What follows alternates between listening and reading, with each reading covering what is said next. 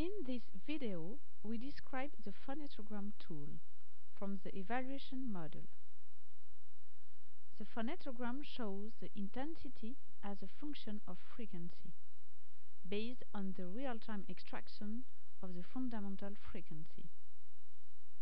The horizontal axis shows the frequency with matching music notes, and the vertical axis starts very with very low intensity and ends with very high intensity.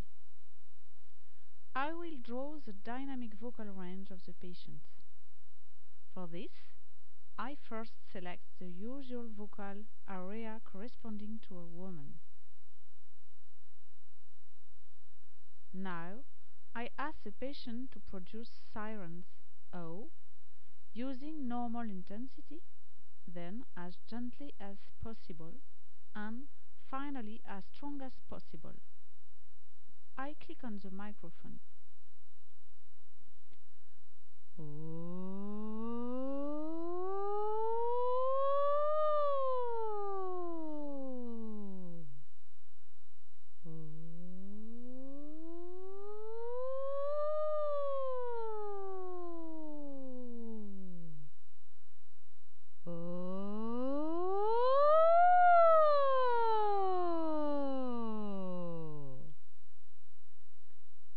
Phonetogram has gradually expanded its layer during the three voice samples.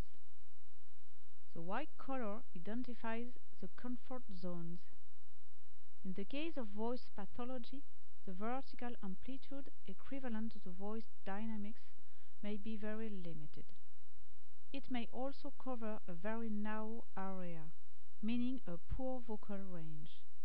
In the case of a singer, his voice has fairly wide dynamics with large frequency range.